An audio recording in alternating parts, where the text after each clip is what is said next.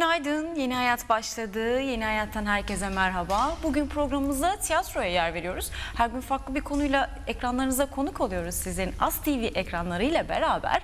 Bugün tiyatroyu işleyeceğiz. Peki konuklarım kim? Konuklarım ise Ekim Sanat Atölyesi'nden e, tiyatro oyuncusu Cenk Torun ve Ayten Kösel Topçu bizlerle diyorum. Hemen konuklarıma dönmek istiyorum. İzninizle hoş geldiniz. Hoş bulduk. Hoş merhabalar. bulduk. Nasılsınız? İyiyiz. İyiyiz. Gayet Aceleyle iyiyiz. yetiştiniz e, programa. Güzel oldu. İzleyicilerimiz aslında bekliyorlarsa da bunu da hemen söylemek isteyelim. Doğaçlama bir programa girdik aslında değil mi? Sizin de oyununuz doğaçlama bir oyun. Olay var. Aslında bunu konuşacağım. Bunun Aynen öncesinde de e, tiyatro ile ilgili Bursa'da doğaçlama tiyatroyu soracağım size. E, biliyoruz ki yarın da 27 Mart Dünya Tiyatro Günü. E, biz bir gün önceden işliyoruz konumuzu. Yeni hayatın son günü olması dolayısıyla. E, şimdi atölyeden başlamak istesem, e, ilk olarak girişi böyle yapsak. Neler yapıyorsunuz? Atölyenin kuruluş amacı, etkinlikleri neler? Bunlarla başlasak. O kadar çok şey yapıyoruz ki Ekim Sanat'ta biz e, bile yetişemiyoruz inanın bunun hızına. E, Ekim Sanat 89 yılından beri Bursa'da e, sanata gönül vermiş, insanların yüreğinde e, uygulamalı olarak var olan bir sanat kurumu. E, resim, tiyatro, drama, e, müzik alanlarında ders veren bir kurum ve bir dernek aslında orası. E, gönüllü insanların bolca olduğu bir yer. E, evet tiyatrosuyla daha çok tanınan bir sanat kurumu. E, profesyonel grubu var, amatör grubu var. E, yapılan e, çalışmalar e, gerçekten uzun soluklu ve e, çok e, e, şık çalışmalar diyebilirim. E, çünkü gönüllü insanların yaptığı işler insanların gönlüne, yüreğine daha güzel dokunuyor diye düşünüyorum. diye düşünüyorsunuz. Evet, e, tiyatro eğitimleri e, bizde 8 aylık e, bir süreçte yapılan kurslar.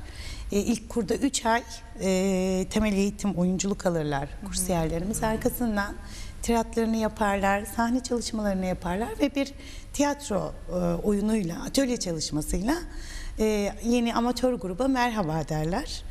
E, güzel bir ekibimiz var. E, Cenk e, bizden yetişme bir arkadaşımız. Öyle mi? Ve e, hocalarımızdandır kendisi de ayrıca. Hem de profesyonel ekipte oyuncu arkadaşımız. E, böyle Genç yetenekleri arıyorsunuz diyebilir miyiz o zaman? Ee, biraz daha yetiştirme ve öğretme üzerine ise eğer. Hani gençler bu pastanın neresinde? Gençler bu pastanın aslında tabanını oluşturuyor. Yani e, ben tiyatroya başladığım dönemde genel ağırlık olarak tiyatro bir hobi halindeydi insanlar arasında. Yaş skalamız, skalamız daha yukarıdaydı.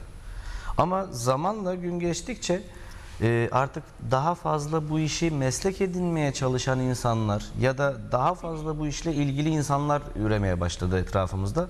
Ya herhalde bu da muhtemelen hem televizyonun hem de sinemanın hem de tiyatronun kendi etkisi. Dolayısıyla insanlarda e, yoğun bir sempati başladı diyebilirim bu işe. E, hatta son dönemde tiyatro salonlarında seyircinin arttığını dahi söyleyebilirim son 3-4 yıldır. Muhtemelen bununla ilgili yani konjonktürel bir etki.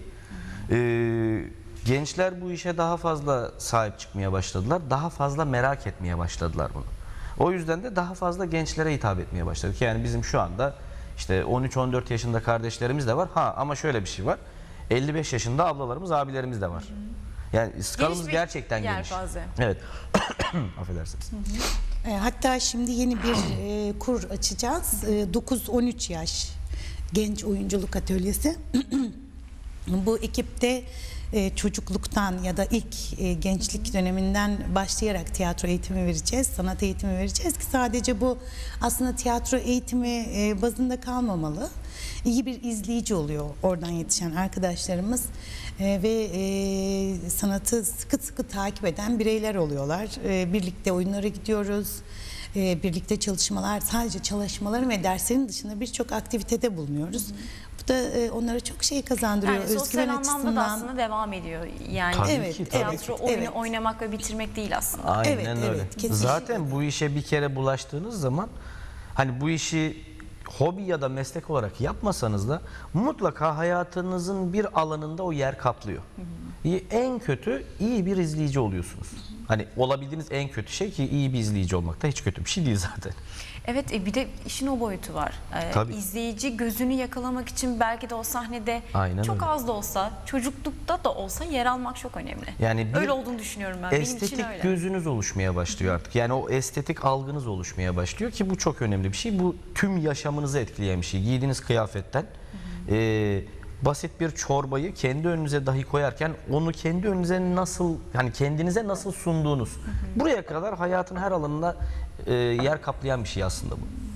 Peki bugüne kadar şimdi birçok ekip yetiştirmişsiniz. Öyle gözüküyor. Ee, yani hatta ekibin bir parçası sonradan hocanız olarak devam etmiş. Çok güzel bir dayanışma Hakeza var. Ayten de oradan yetişmedir Evet aslında. ben de yetişmiyorum. Hemen bunları açıklayalım o zaman değil mi? Bunları söylemeden Evet. geçmeyelim. Evet. Ee, peki yetiştiriyorsunuz öğrencilerinizi. Onlarla beraber oyunlar devam ediyor, paylaşımlar devam ediyor. Peki e, daha sonra farklı tiyatrolara, farklı ufuklara giden öğrencileriniz var mı? E, onların başarılarını nasıl karşılıyorsunuz? Gerçekten güzel bir iş yapıyorsunuz. Çünkü oyun oynamak ayrı bir şey, yetiştirmek, oyuncu yetiştirmek çok çok ayrı bir durum. Yani. E, arasındaki fark ve tat nedir? E, konservatuvar Ya e, şöyle söyleyeyim. Şimdi e, bir insanın yaşamına müdahale ediyorsunuz. Aslında bu çok önemli bir şey. Yani biz öğrencilere özellikle ben kendi yaptığım çalışmalarda mutlaka şunu soruyorum insanlara. Mesela bu işi yapamazsan ne yapmayı düşünüyorsun? Bu yaşama dair özellikle ergenliğin e, tam göbeğinde yaşayan gençler için 18-20 yaş arasında hemen hemen bu insanlara sorulabilecek aslında çok kritik bir soru. Bundan sonraki yaşamınızda bu işi yapmaya devam edebilirsiniz. Ya da devam edemezsiniz başka bir işe e, geçmek zorunda kalabilirsiniz. Ne yapmayı düşünüyorsunuz? Bu onların e, hayatı boyunca sürekli karşılarına çıkabilecek bir e, soru aslında. E, o insanlar gerçekten bu kaygıya düşüp daha fazla çalışmaya başlıyorlar aslına bakarsanız. Ve ondan sonra bir yere gidiyorlar. Yani hissedebileceğiniz tek şey muhtemelen e, Ayten Hanım da ben kazandığımda aynı şeyi hissetmiştir. Hani kazandı artık yani daha ötesi yok. Bu sadece bir mutluluk. Hem kendi e, gururunuz okşanıyor aslında eğitici olarak. Evet yani benim bir öğrencim bir yere kazandı. Hani bunu da ben hallettim en azından. Bir hasar yok. E, çocuğun hayatı da aslında bir, bir yönde değişiyor. Çünkü e, akademik bir eğitim sürecine giriyor ve bu karşılıklı bir e, arınma hali aslında. Mutlu oluyorsunuz sürekli. Karşılıklı bir mutluluk hali değil. Aynen öyle. Sürekli seviniyorsunuz. İşte bir Evet. arkadaşımız e, Esra bizden yetişti. E, Şimdi Kurtlar Vadisi'nde oynuyor. E, yani gördüğün zaman diyorsun ki şey hatırlıyorsunuz işte. O çalışma sürecini, onun burada yaptıklarını vesaire. Mutluluk. Beraber Başka- ilerliyor o zaman. Onun için de öyledir. Kesinlikle E tabii ki. karşılıklıdır. E tabii ki. Ya başka ne hissedebilirsiniz ki mutlu olmak? Daha ötesi var mı? Peki şimdi oyunlarınıza da gelmek istiyorum. Ee, şu anda oynadığınız e, oyunlar neler? Bunlardan da biraz bahsetsek. Benim bildiğim olay var oyununuz. Hatta çok farklı bir tatta bir oyun. Ee, biraz ondan başlasak. E, olay var. E, bir doğaçlama tiyatro biçimi. E, playback tiyatro aslında. E, bahsettiğimiz buradaki doğaçlama türü. Playback tiyatro 1800'lü e, yılların sonuna doğru 1900'lerin ortasında da Jonathan Fox tarafından e, Amerika'da e, kuramsallaştırılmış. Aslında daha önce pedagogların kullandığı bir sistemmiş bu sistem. E, oyuncuların olduğu, müzisyenlerin olduğu ve öyküleri seyirciden aldığımız bir e, yazını olmayan, metni olmayan bir tür bu. E, tamamen gelen izleyicilerimiz oluşturuyor aslında konsepti ve konuyu. E, siz öykülerinizi anlatıyorsunuz, biz size oynuyoruz. E, şık, hoş bir iş oldu. Müzikli, eğlenceli. E, bütün izleyiciler- izleyicilerimizi bekliyoruz buradan. E, 4 Nisan'da Konak e, Kültür Evi'nde Merkezi'nde. evet e, oynayacağız, tekrar edeceğiz. Sanırım dördüncü oyunu değil mi? Dört olacak. Dördüncü oyunumuz. ne evet. zamandır oynuyorsunuz bu oyunu peki? İyi. Yani şu ana kadar 3 gösteri yaptık. Ee, en son bu pazar Nazım Hikmet Kültür Evet. Merkezi'ndeydik. Öncesinde Konak Kültür Merkezi'nde oynadık. Onun öncesinde de Uğur Mumcu Kültür Merkezi'nde oynamıştık. 4 hafta önce başladık ne, seyirciyle Mart'tı buluşmaya. mi? Bir Mart'ta sanırım premier tarihimiz. Evet, Mart. evet, evet 1 Mart. Peki doğaçlama oyunların biraz daha tiyatronun popüler kültürle bağdaşmasını sağlıyor mu? Ee, şimdi televizyonda da artık izliyoruz. E, televizyonda bizim eskiden izlediğimiz bir demet tiyatro vardı. E, tiyatroyu ekrana taşıyan birçok şey vardı. Necdet Aynen. Uygur bunu en iyi yapanlardan bir tanesiydi. Aynen. Ve daha sonrasında doğaçlama olarak yine ekrana yansıdı. İzleyiciyi birazdan televizyondan e, alıp da sahneyi izlemeye mi itiyor acaba doğaçlama tiyatro? Hangisidir? Yani e, sizin seyircinizi alamayız. tamam. o, o, bir, o bir kesin. Siz, sizin Tamam, seyircinizi pek alamayız. kalsınlar. Ama bunun kesinlikle etkisi var. Yani şu anda yükselen yeni değer aslında bakarsanız bu doğaçlama tiyatro. Çünkü klasik tiyatrodan farklı çünkü seyirci birebir e, o dünyanın içinde. Yani özellikle bizim yaptığımız tarzda biz hiçbir şey yapmıyoruz. Oyun var şu tarihte tamam. Neredeyiz? Şuradayız. Bir iki saat öncesinden gidip hazırlıklarımızı yapıyoruz. Ondan sonra seyirciyi beklemeye başlıyoruz. Biz de bilmiyoruz ne olacağını. Moderatörümüz çıkıp seyirciyle sohbet etmeye başlıyor.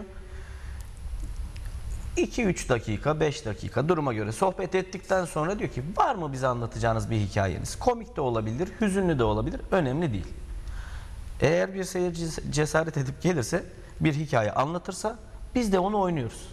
Yani hiçbir kurgusu yok, hiçbir e, ön çalışması yok. Yani tekniği öğrenmek için biz oyuncular oyuncular olarak bir 6 aya yakın bir hazırlık süreci geçirdik.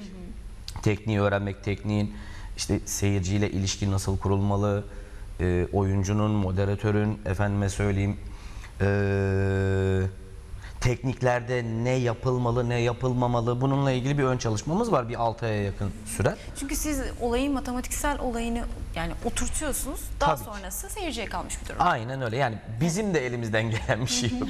Seyirci yapıyor ne yapıyorsa biz hiçbir şey yapmıyoruz. Buradan seyircilerimize de iletiyoruz. Şimdi ben kısa bir ara vereceğim. Sonra devam edeceğiz. Aradan sonra hemen buradayız.